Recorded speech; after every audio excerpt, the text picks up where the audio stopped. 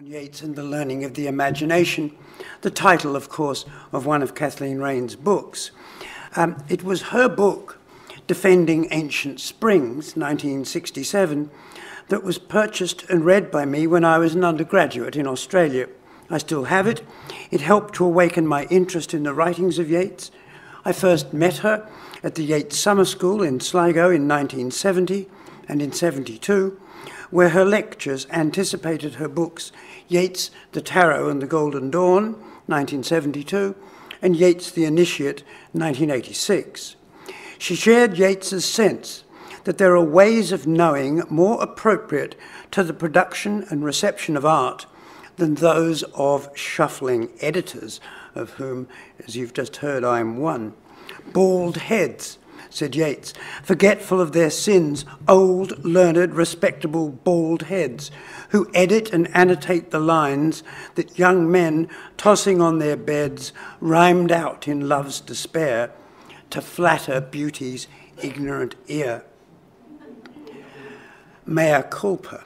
I, I hope Yeats's re rebuke propitiates the lofty shade of Kathleen Raine.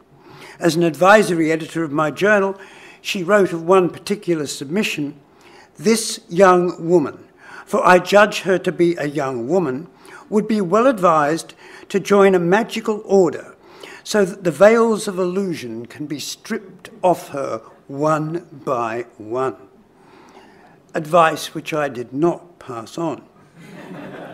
As a poet, Kathleen Raine depended upon centuries of book learning. As, an, as a scholar, she compounded it. Her book had brought me to Yeats's inexhaustible library of book learning, the British Museum, where occasionally she was to be glimpsed. She took it for granted that the imagination was learned, as had Yeats before her. Um, the most important parts of some of these quotes I put up are those in red. There is only one kind of good poetry, he said, for the poetry of the coteries, which presupposes the written tradition, does not differ in kind from the true poetry of the people, which presupposes the unwritten tradition. Both are alike strange and obscure and unreal to all who have not understanding, and both glimmer with thoughts and images. I learned from the people themselves before I learned it from any book that they cannot separate the idea of an art or a craft from the idea of a cult with ancient technicalities and mysteries. They can hardly separate mere learning from witchcraft and are fond of words and verses that keep half their secret to themselves. Um, so, this is his justification for being a learned poet working in an unlearned tradition. Many years after he had worked on these notebooks at the turn of the 20th century, he recalled when he began to question the Irish country people about apparitions. Lady Gregory and I uh, collected the stories in her visions and beliefs in the west of Ireland. Again and again, she and I felt we'd got down, as it were, into some fibrous darkness, into some matrix out of which everything has come, some condition that brought together, as though into a single scheme, exaltations, agonies, the apparitions seen by dogs and horses. But there was always something lacking. We came upon visionaries of whom it was impossible to say whether they were Christian or pagan, found memories of jugglers like those of India, found fragments of a belief that associated eternity with field and road, not with buildings. But these visionaries, memories, fragments were eccentric, alien, shut off, as it were, under the plate glass of a museum. I had found something of what I wanted, but not all. The explanatory intellect had disappeared. The key phrase in all that, I think, is fibrous darkness. The beliefs of the country people, he thought, were ancient deposits, like sods of turf rotted down, as it were, into tradition. Recovered by visionary meditation upon learning, in his case, the writings of the Irish mythographers and folklorists, such beliefs could prove endlessly inspiriting. Middle class Ireland, he felt, had prolific jour journalism. It had Young Ireland societies. It had cultural and national fervour. But, he said, no, and I'm quoting him here, cultivated minority. Hence, he thought, the Irish absorption of English middle class values and popular poetry. He plied his audiences with folklore essays, barely read now. He offered folkloric notes to his overfreighted symbolical poems. The Wind Among the Reeds, 1899, contains just 37 poems in 62 pages, with an additional 44 pages of notes, some of them as long as eight pages. He later pruned them, forcing the poems to become self sufficient. Though by 1932 he had found what he called an ancient discipline, a philosophy that satisfied the intellect in Indian thought. Uh, in the meantime, he discovered that new poems could return into traditional peasant oral culture. Though intellectual Dublin knew nothing of it, he said, Douglas Hyde had considerable popularity as a Gaelic poet, mowers and reapers singing his songs from Donegal to Kerry. Years after, I was to stand at his side and listen to Galway mowers singing his Gaelic words without their knowing whose words they sang. It is so in India, where peasants sing the words of the great poet of Bengal, Rabindranath Tagore, of course, who's, without knowing whose words they sing. And it must often be so where the old imaginative folk life is undisturbed. In 1935, he boasted the Free State Army marched to a tune called Down by the Sally Gardens, without knowing that the march was first published with words of mine, words that are now folklore. And I think myself of Tread softly because you tread on my dreams, from He wishes for the cloths of heaven, words which one now hears worked into all sorts of, of contexts. They have returned to folklore. Inspiring others to follow, he left various manifesti about his works, which set the background of belief against which he compiled the notebooks that I'm going to talk about.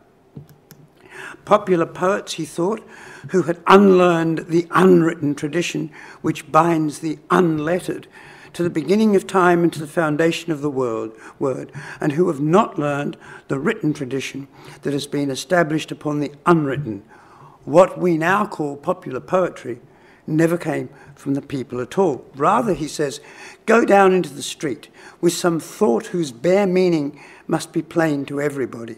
Take with you Ben Jonson's Beauty Like Sorrow Dwelleth Everywhere and find out how utterly its enchantment depends upon an association of beauty with sorrow which written tradition has from the unwritten, which had it in turn from ancient religion.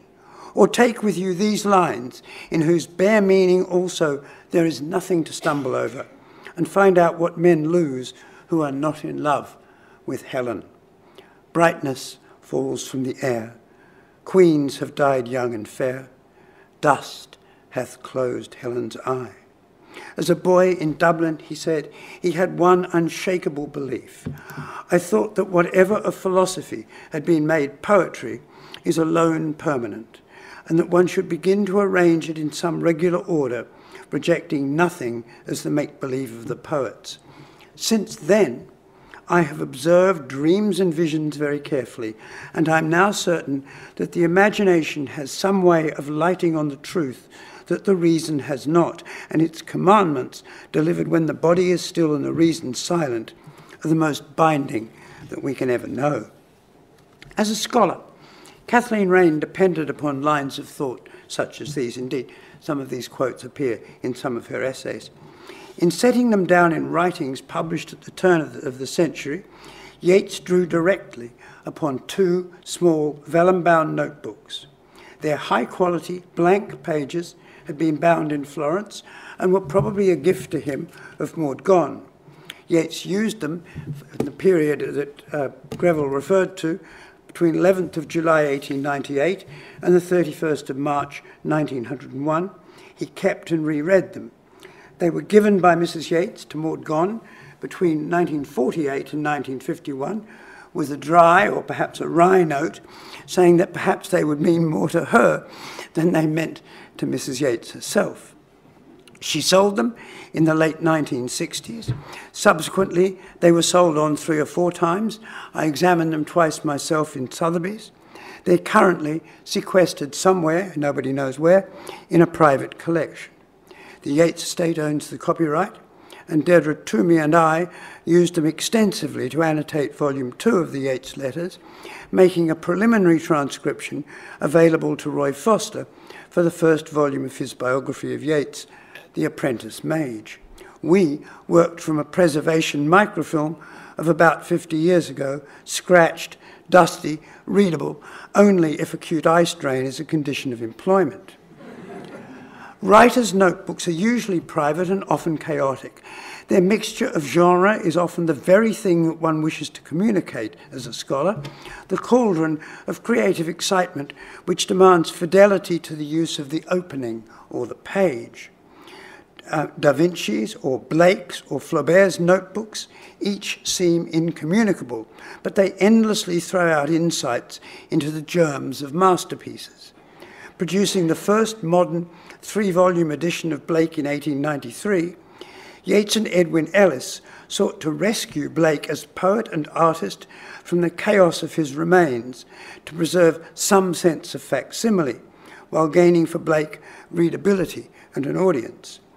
The notebooks of Yeats's fellow member of the Order of the Golden Dawn, Florence Farr, who I'll be saying a bit more about later on, known to Yeats as Spillikins, contain wild diagrams from untraced recondite sources, lecture notes from theosophical study groups, the mock up titles of books never published.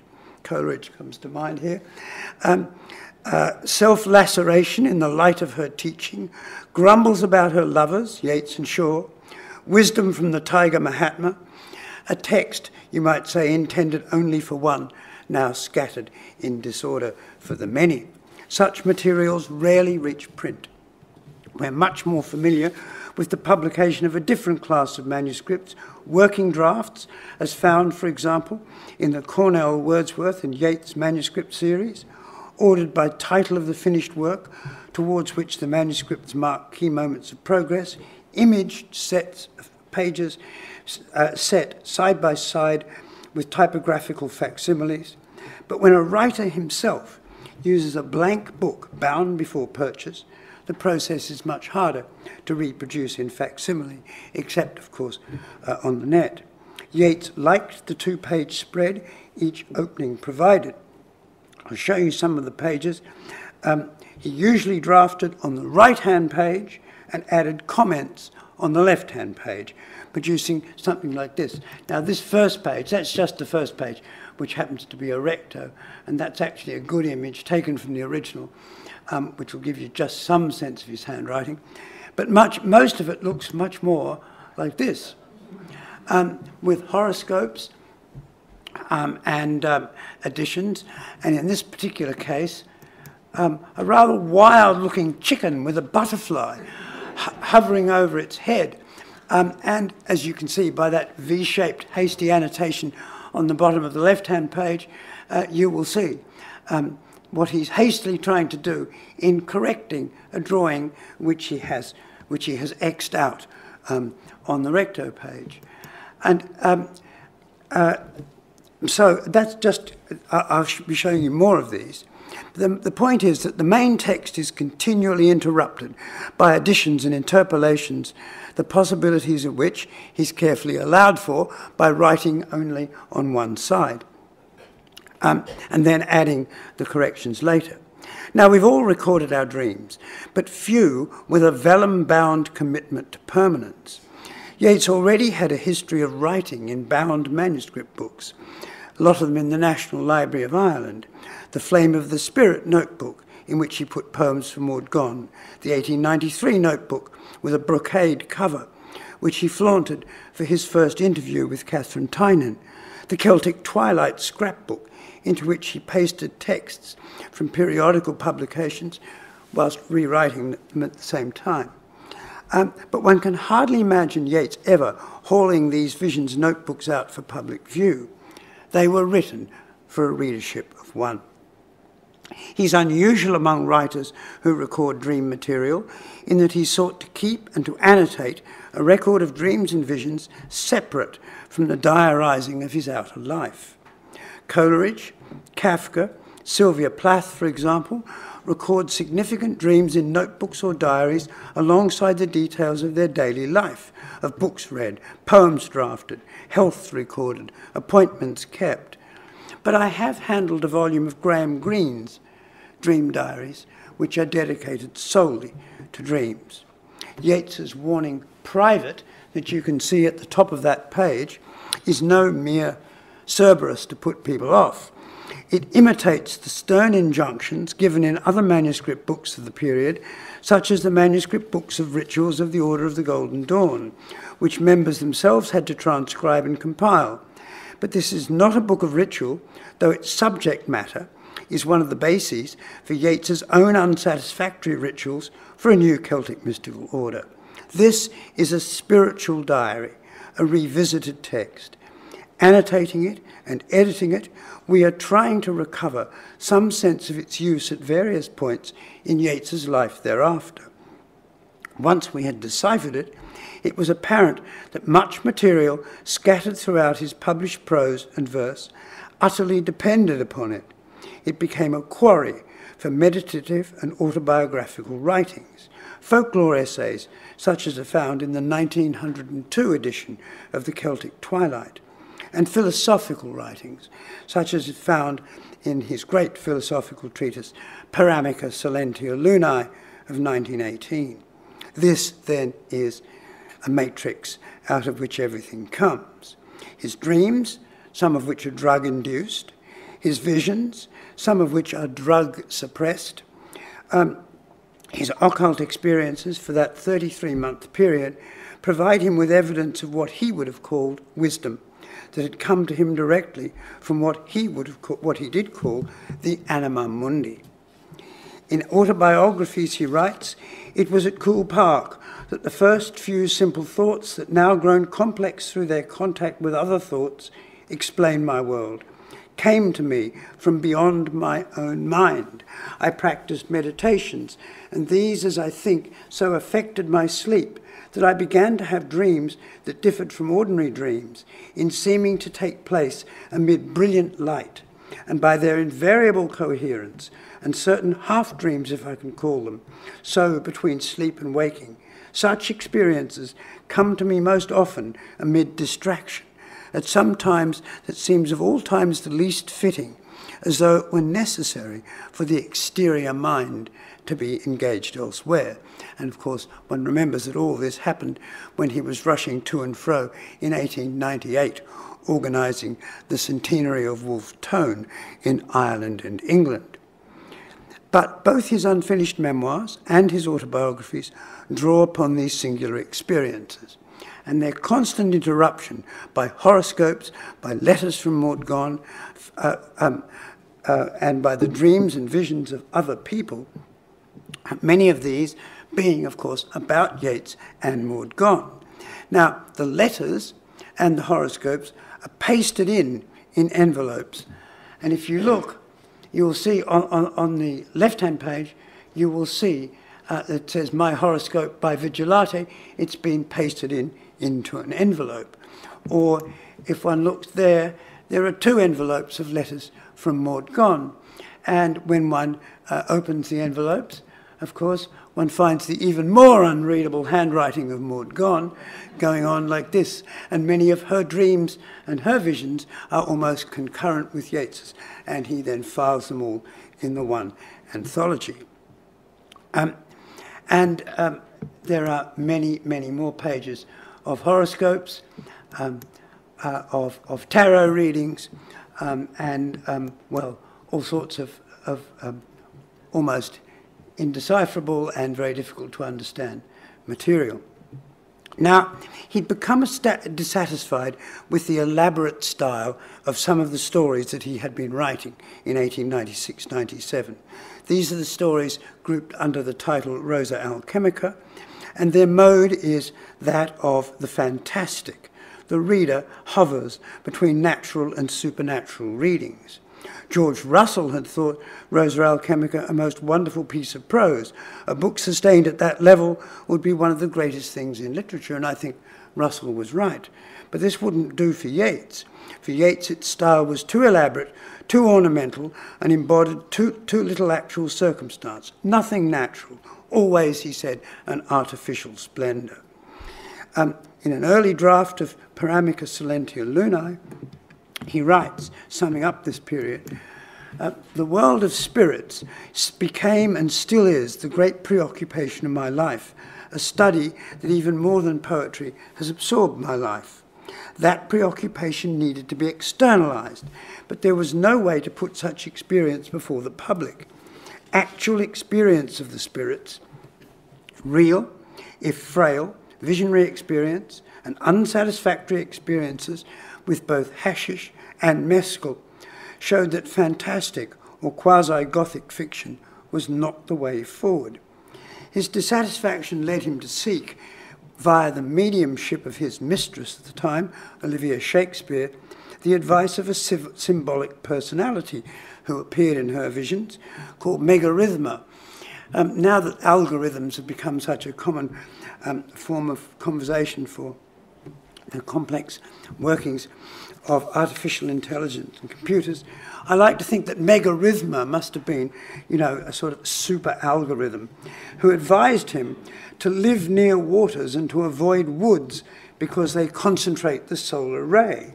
Yeats interpreted this advice in terms of the growing artifice of style that he detected in the elaboration of the Rosa Alchemica stories. Water was lunar, referring to all that was simple, popular, traditional, emotional. This enigmatic sentence, he said, came from my own daimon, my own buried self, speaking through my friend's mind. It was thereafter associated with the Archer vision of August, August 1896 in Tillyra Castle, and these two experiences are the most of what we know of Yeats's visionary life before these notebooks. The notebooks also bring to light some of the more recondite activities of a small group of late fin de siècle writers, Irish nationalists, occult experimenters, all via the kaleidoscope of Yeats's inner life. Celtic mythography had been an interest ever since his recording of folklore for the Celtic Twilight and was key to the symbolic sources of all his early poems and plays. But here we see him recording the visionary work of himself and others, preparatory to the founding of a Celtic mystical order. Um, and that's all in the notebook. Um, the ultimate source of this idea is a story by the Irish writer Nora Hopper called The Gifts of Hugh and Una in her Ballads in Prose 1894, with its Temple of Heroes set on an island in the Shannon. Yeats was so obsessed by the story in early 1895, while staying with Douglas Hart, Hyde in Frenchpark, County Roscommon, that he wondered whether Castle Island, Lough Key, might not become his Temple of Heroes, the centre of mysteries like those of Eleusis and Samothrace. For the next 10 years, he said, my most impassioned thought was a vain attempt to find philosophy and to create ritual for that order. I had an unshakable conviction that invisible gates would open as the, for me, as they opened for Blake, as they'd opened for Swedenborg, as they opened for Boehme. And the wider ambition at work, I must find a tradition that was part of actual history, that had associations in the, in the scenery of my own country, and so bring my speech closer to that of daily life. Prompted, as I believe, by certain dreams and premonitions, I began a study of the supernatural belief of the Galway and Aran cottages. Now, that Celtic order was not to be part of the Order of the Golden Dawn, of which, of course, he was also a member, but it was to have a similar structure and rites. Various Irish um, visionaries and others helped him in the work to draw up these, um, uh, these rituals. And much that, that happened among these group, this group of people um, show Yeats using people, using visionaries, um, uh, to, to obtain experiences which he felt he couldn't obtain himself.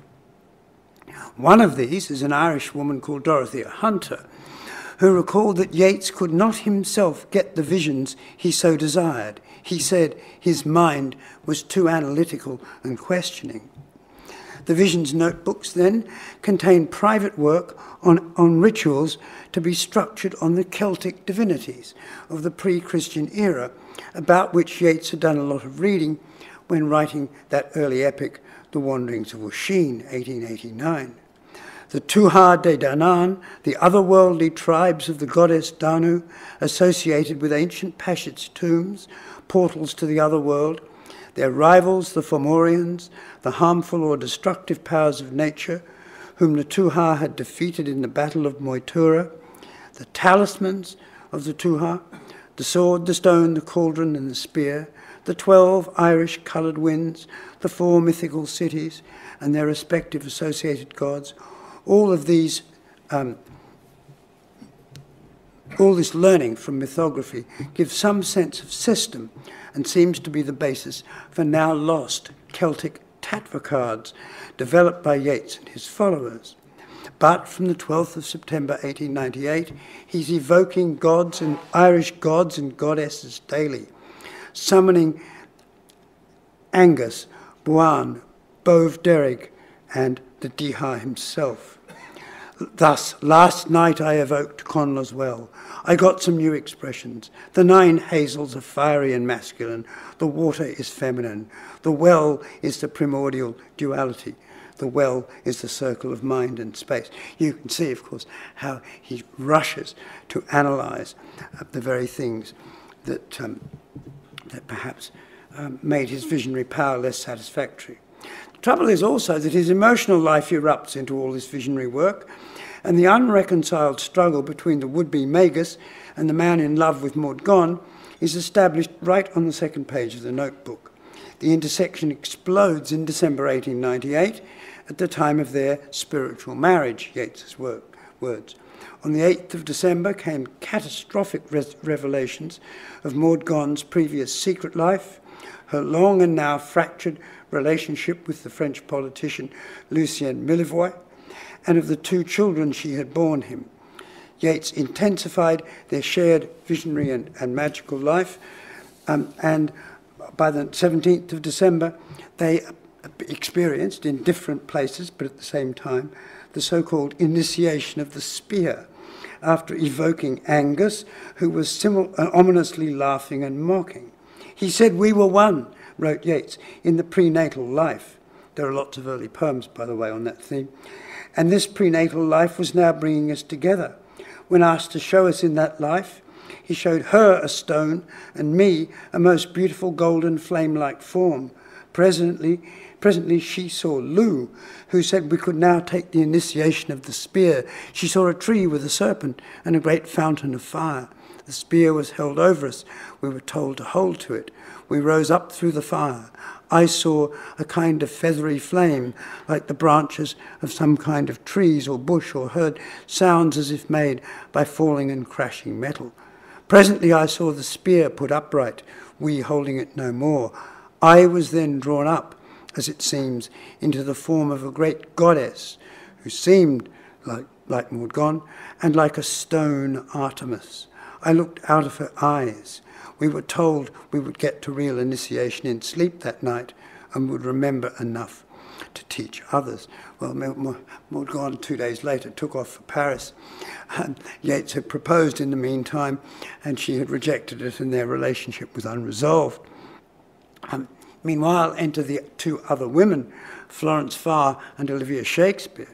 And Yeats records their dreams about all, all of this, Florence Farr had seen him, quote, dressed in some kind of medieval dress, kneeling before a wayside shrine of what seemed to be the Magdalene in what seemed to be Italy.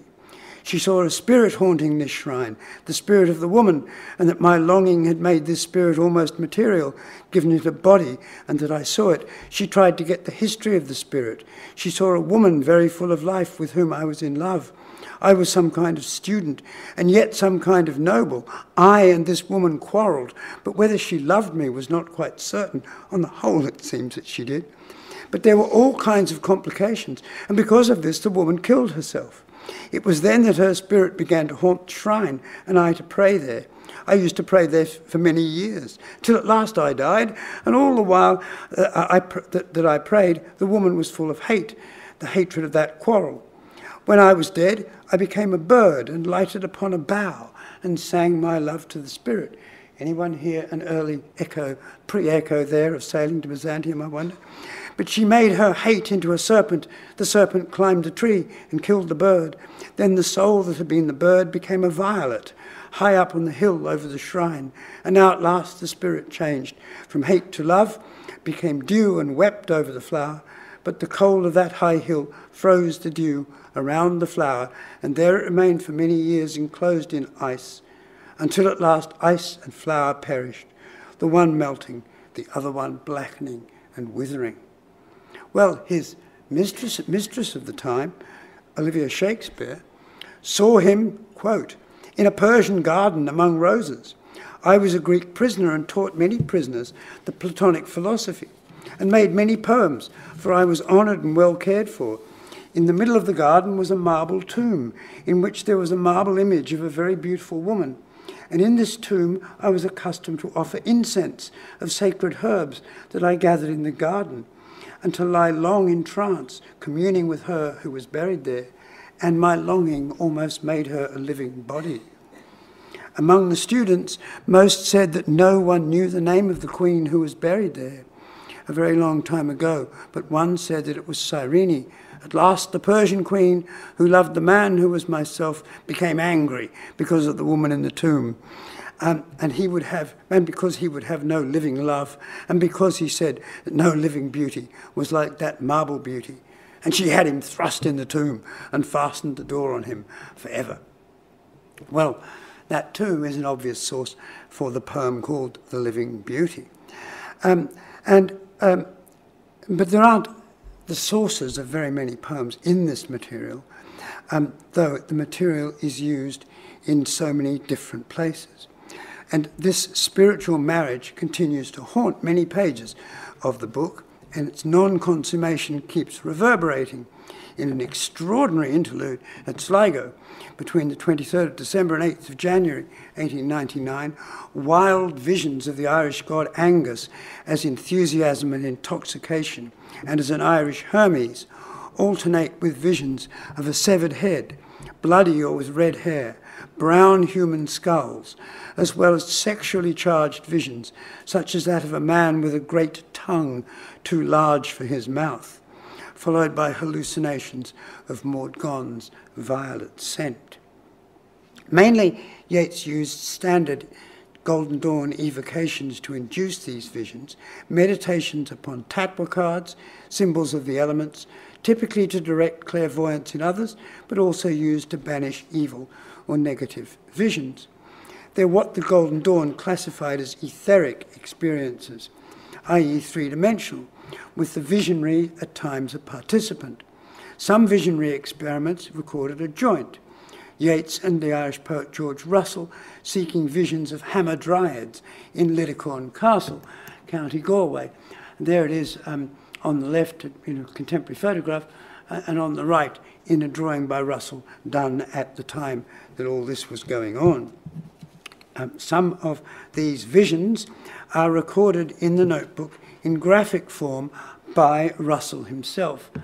Um, there being one of them, um, this strange pastel drawing um, of, um, of, of, an Irish god, suggesting that Irish gods prefigured David Bowie, it seems to me, in a punk headdress, but then many of Russell's otherworldly drawings show resemblances to punk or Mohawk styles. And um, these are other drawings done at the same time. Much of this visionary activity is also noted solemnly by Lady Gregory. At Tillyra Castle, they saw visions of a man in armour and a black pig, and a tall woman and a black man. A.E. saw all of these, Yeats saw only some of them. Um, now, key episodes from these notebooks are transcribed directly, sometimes glossed with additional memories, plainly mobilized by the process of rereading, sometimes an experience which is only sketched or recorded fragmentarily in the notebook. For example, George Russell's suicidal impulses at the time are expanded with greater frankness um, in Yeats's memoirs. He often has visions of books. On Sunday night, or rather early last Monday morning, I went to sleep on my back, with the result that I seemed to pass through a half nightmare state of no great importance, and then to awake into a kind of beatific trance. I was shown two books full of pictures of marvellous and curious beauty, and told that one contained lost poems by Blake, and the other something, whether doctrine or what, I could not remember, that had influenced him. I remember, too, a picture whether by him or an influence over him, I know not, which was round, a sky full of faces, faces more Greek than his pictures are. I saw diagrams too, showing Satan and his symbols rising into the heavens. There was much about his wings. I remember too that his hurting the head of Christ meant the maiming of imagination by reason. The poems were beautifully illuminated, though not quite in Blake's way. I read. Then I presently came to a bad voice, bad verse, sorry. A voice then said that I was no longer seeing properly. I asked questions, but was told, I think, that I could not hear or see more at that stage. And then, almost immediately, I saw a book written and painted on dual leaves and fixed my eyes on a scene, how indigo on one dark, indigo dark, sorry, on one page, a kind of abyss or the night sky. The book changed into a shower of withered leaves. I then saw other withered leaves. I heard a voice say that the woman in the white dress was the spirit of November and of winter nights. I heard a voice say, Your heart is heavy as lead, the light of your eyes is dead. Think of the world to come. We are the whirling ways. I felt a sensation of winds blowing. I saw indigo colour and a faint white cross. I was conscious of being unable to see things that were all about me. I saw to my left, but very badly, many laughing faces, and to my right, a sheeted and death like spirit.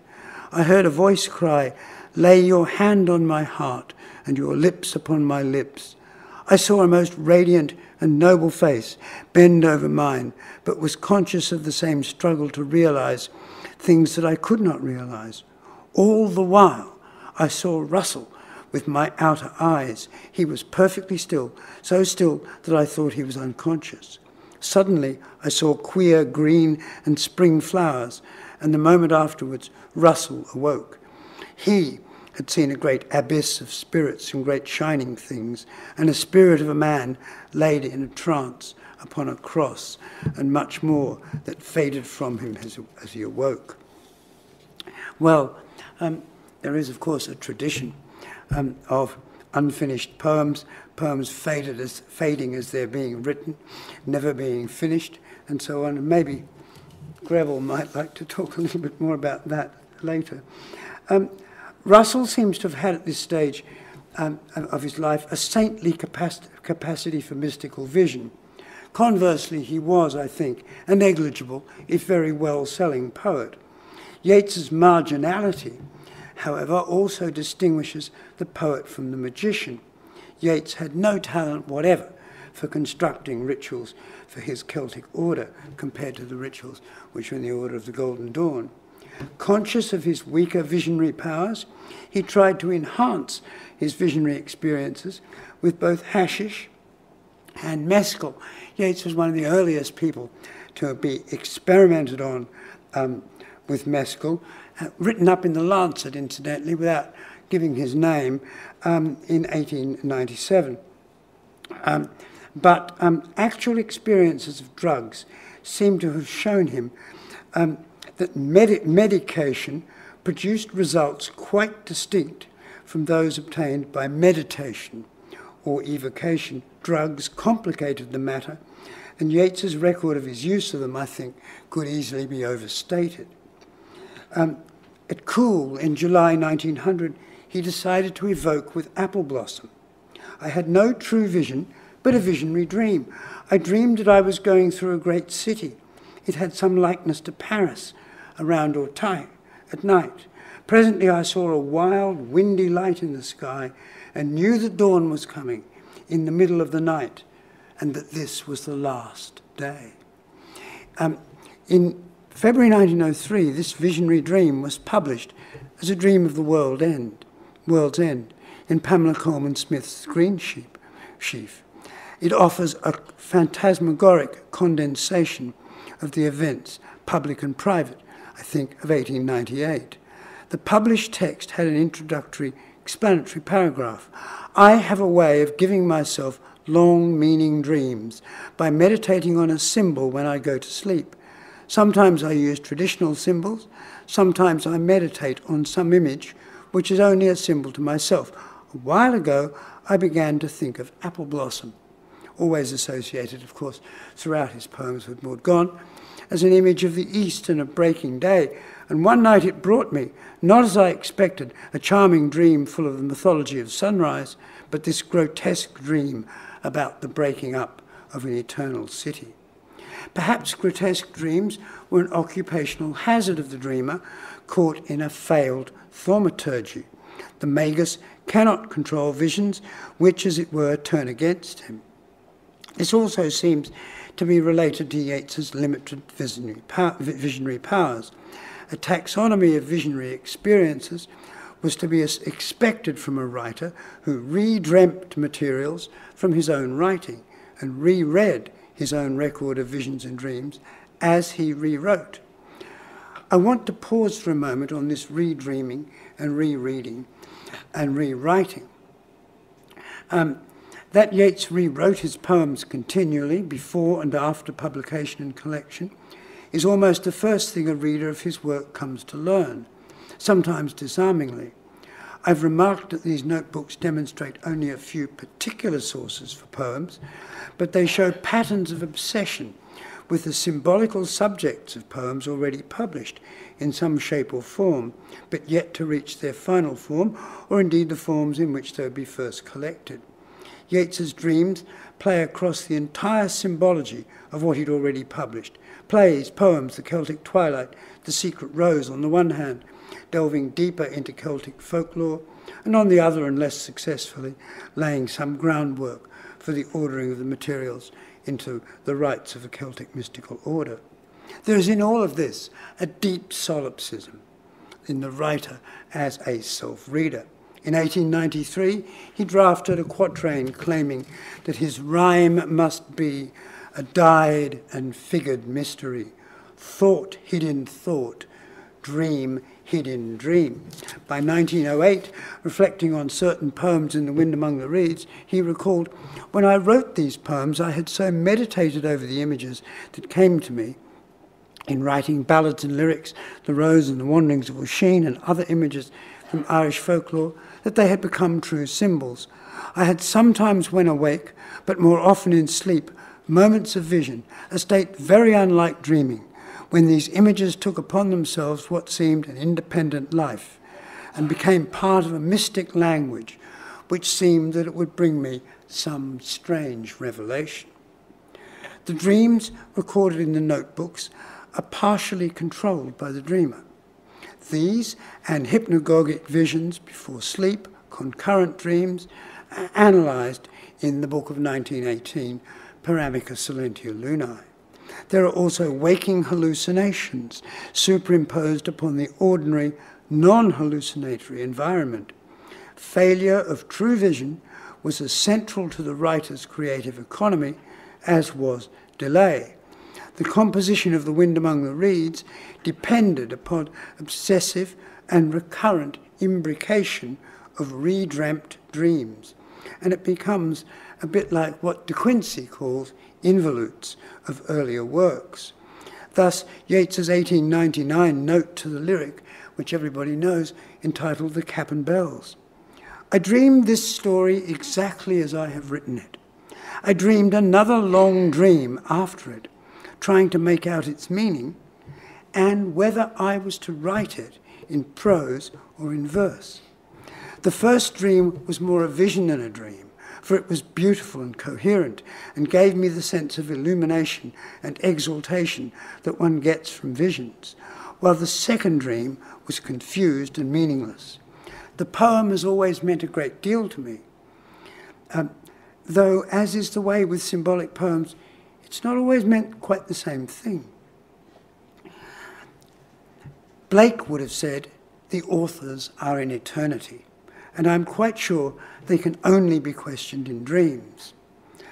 Well, once he had published these poems, he began to look at them rather differently. Being troubled at what was thought a reckless obscurity, he said, I tried to explain myself in lengthy footnotes, into which I put all the little learning I had and more wilful fantasy than I now think admirable, though what is most mystical still seems to me the most true. In his introduction to his poems in, 18, in 1901, he said, I do not think that anybody who knows modern poetry will find obscurities in this book immediately qualifying that very rash statement with um, what he, well, I'll put this on the screen, I think. Um, in any case, I must leave my myths and symbols to explain themselves as the years go by, and one poem lights up another, and the stories that friends, and one friend in particular, that's Lady Gregory, have gathered for me, or that I have gathered myself in many cottages, find their way into the light. I would, if I could, add to the majestic heraldry of the poets, the great and complicated inheritance of images, which written literature has substituted for the greater and more complicated inheritance of the spoken tradition. Some new heraldic images gathered from the lips of the common people. Now, finally, I want to say something about the genuine mystical visions that appear in these notebooks. Um,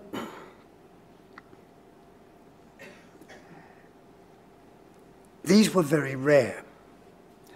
Um, but here's one, recorded on the 27th of August 1898. Shortly after the visions of the Book of Poems I recorded on the 14th of July, I had another experience when sleeping on my back. I awoke slowly and could not remember what I had seen, but knew that I had been told that the love of God was infinite for every human being, because every human being is unique, and God's love can find no other capable of satisfying the same need. This was mixed up with some, some incoherent dream. I was not in a true trance, but perhaps had been. The day before, I had suddenly felt, felt a sense of dependence of the divine will and had passed for a moment into a state of passive mysticism unusual with my nature, which has been shaped by thaumaturgy. I also had the experience of the wind blowing over me from the feet up again, but cannot recollect the circumstances. In my divination of two or three days ago, I noticed the great difficulty is that the cards produce the vision appropriate to their universal symbolism more readily than the vision of their partial symbolism. This thought came to me, as I believe, supernaturally, he wrote. And this direct experience of the numinous was believed by Yeats to be the root of Christian mysticism.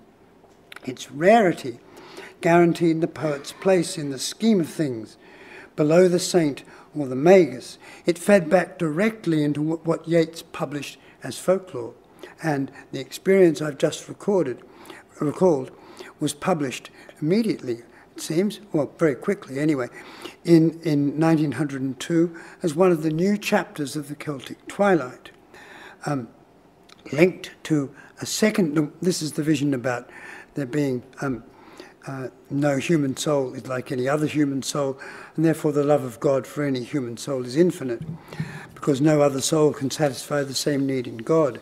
A few nights after this, I awoke to see the loveliest people I have ever seen a young man and a young girl dressed in olive green raiment, cut like old Greek raiment, were standing at my bedside. I looked at the girl and noticed that her dress was gathered around her neck into a kind of chain, or perhaps into some kind of stiff embroidery which represented ivy leaf, leaves. But what filled me with wonder was the miraculous mildness of her face. There are no such faces now. It was beautiful, as few faces are beautiful, but it had not, one would think, the light that is in desire or in hope or in fear or in speculation. It was peaceful like the faces of animals or like mountain pools in the evening. It was a little sad. Now, um, these experiences are sometimes deployed in works of fiction, in his unfinished novel, The Speckled Bird, but they are more frequently to be found um, in his autobiographies, where he sums up this great period of vision and dream. I found that after evocation, my sleep became at moments full of light and form, all that I'd failed to find while awake, and I elaborated a system of natural objects that I might give myself dreams during sleep, or rather visions, for they had none of the confusion of dreams, by laying upon my pillow or beside my pillow certain flowers or leaves. Even today, after 20 years, the exhalations and the memories that come to me from bits of hawthorn or some other plant uh, seem, of all the moments of my life, the happiest and the wisest.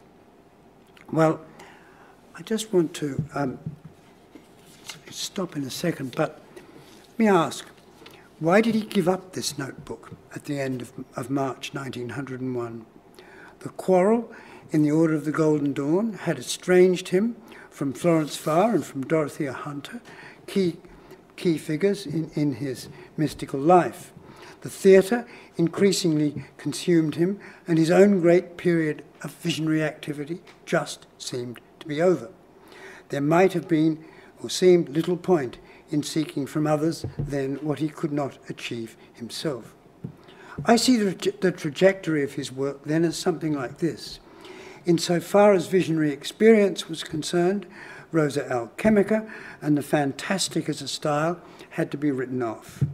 Experience had to find a way to prevail over literary convention. Speculative prose took over from fiction.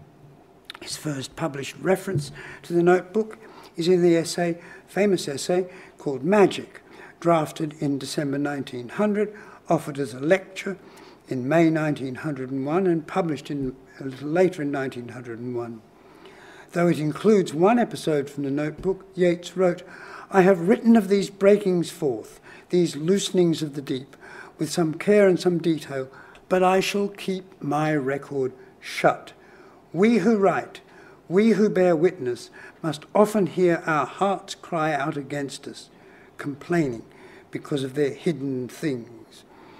Um, and uh, so there it really remains. It remains for him as a book of evidence to himself that he had undergone a period of vision, however fragmented, and was not simply dependent on the powers of, powers of others, the problem for Yeats's belief in visionary experience, I would suggest, is that he was a writer. Representing experience of the supernatural to unbelievers, he found inordinately difficult. Affirmation by declaration proved for him to be the best accommodation of the supernatural. In a draft of Per Amica, he wrote that the notebooks contained much recorded at the moment it happened, and while the memory was clear, that once I had thought to publish, but I am no longer of that mind. Why should I hope to convince when notably accurate and careful men have failed? I am an imaginative writer, and so must appear to be one of those who lose themselves in the fancy. I will but say, like the 12 year old boy in the Arabian Nights, O oh brother, I have taken stock in the desert sand and of the sayings of antiquity. I'll stop there. Um, I have a question um, to ask later on, but some of you may have questions first. Well,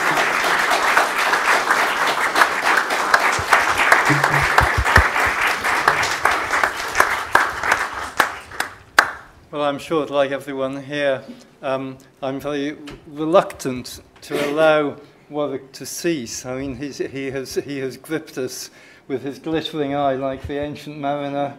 Um, and like Yeats, he's, he's been weaving the cloths of heaven for us. Um, I could listen to this all night, but I fear Warwick wouldn't wish to continue all night. Um, yes, um, we're, we're invited to, to raise questions. Um, do, do we have questions? I'm sure there will, there will be many, yes. Um, lady? Yeah. Are you, are you able to? Yes. Yes. It's a very simple question. Would Yeats have seen an original manuscript of Blake's? Yes, is the answer. Yes, many, many, many of them. Uh, the Linnell brothers um, were still alive, and Yeats and Ellis went down to their house, I think in Kent, and indeed carried away some of Yeats's manuscripts in order to transcribe them before publishing them in 1893. Thank you. Yes. Do we, do we have any more? Yes. Caitlin. I was very struck by the dream about the cities breaking down. Ah, yes. Well, that, that one, of course, is published. It is. Yes, it um, is. But the, um, but the time that he was having these dreams, um, and of course at the same time he was trying to reconstruct the Irish order of consciousness Yes. and the soul of Ireland Yes. at the same time. But at this very same time, he has the breaking down of the cities. Um, and of course, all that follows in Irish history in the next um, um, two decades um, strikes me very forcibly. It's often, it's often said in, in Scottish culture that, um, uh, that the, the vision of the fairy, um, when one goes into um, the other world, um, one is aware of war in the other world before it comes out into this world. It's very interesting. He's got Yes. this creative and these destructive st- streams both at the same time. I wonder if you had anything. No, I mean, uh, first of all, the, the Scottish material is new to me. Thank you very much. Um, I, what I'd be wary of saying, um, um, I'd be wary of oversimplifying this to the point when one suddenly said, you know, that in 1898 Yeats had foreseen 1916. Um, I mean, I, I'd be very wary of, of going there because I think that what happened in 1916 was an enormous surprise to Yeats and one, of course, which he had first deplored. Um, and, um, but um, whether it is his desire for a new Ireland that, um, as I think you're suggesting, um, uh, implies that the old order has to be broken up, or whether it's just one of those terrifying dreams. You need to read the whole thing. It's the weirdest, weirdest experience, a dream of the world's end. Um, it also involves men descending in parachutes. but um, uh, it is um, it is something that struck him as so singular. It's, it stands out very much from the rest of the material in this document. Um, I wonder if I could ask a question of everyone. Um, uh, I did, when, when writing this, I did read carefully the Temenos Academy's 10 basic principles. And I asked myself, would Yeats have signed up to your principles? Um, and I went through them all principle by principle and, you know, could comment on, on most of them, I think. But the one which really sticks in my mind uh, in, in respect of Yeats is would he have reminded himself and others to look up and not down? Principle number nine. Here it seems to me is where Neoplatonism and the occult come into conjunction, if not collision. Um, it gathers up, this question gathers up Temenos beliefs two to five about love of wisdom, spiritual vision as the basis of civilization, revered traditions, and the necessity for their constant renewal. But it did seem to me um, that um, principle nine about looking up and not down was quite important because it made me think immediately of Raphael's School of Athens um, and of, of course, the figures of Plato and Aristotle, the one gesturing up, um, while Aristotle, of course, gestures down. That, by a curious chain of, of, of coincidence, reminded me of a late cartoon of Yeats and, and Yeats and, and George Russell. Yeats lived at number 84 Merrion Square at this stage. Russell worked at number 82. And here they are not meeting outside number 83. Um, Russell, by this stage, of course, being um, a truly profound and very brave journalist, um, editor of the Irish Statesman. Now, Yeats, I think, affirmed looking in before looking up. Our memories being for him part of one great memory, the memory of nature herself, a great mind which could be evoked by symbols, a process which he thought it uncontroversial to call magic. Written even as these notebooks were being compiled, as spirits were being evoked, in a quest for visions of truth in the depths of the mind when the eyes are closed. But while he says he wishes he could put the belief in magic from him, he also fears the consequences for humanities of the slow perishing through the centuries of a quality of mind that makes that belief and its evidences common in the world. Now, by the time you get to his age as Nobel Prize winner um, in 1927 28, he writes a poem, of course, in which he writes his will. Um, trapped by the humiliations of old age, he um, decides it's time to declare his faith. And this is where it's surprising for those who feel that looking up is Platonic, and that's what Yeats did. Um, and I declare my faith, he says. I mock Plotinus' thought and cry in Plato's teeth. Death and life were not till man made up the whole, made lock, stock, and barrel out of his bitter soul.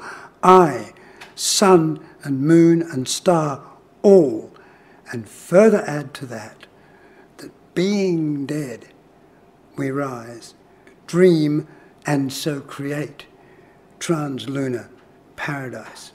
And it seems to me this is his wonderful, wonderful phrase, being dead. Um, that this is, this is where we each add, as it were, our separate wisdom via supernatural dreams to human tradition.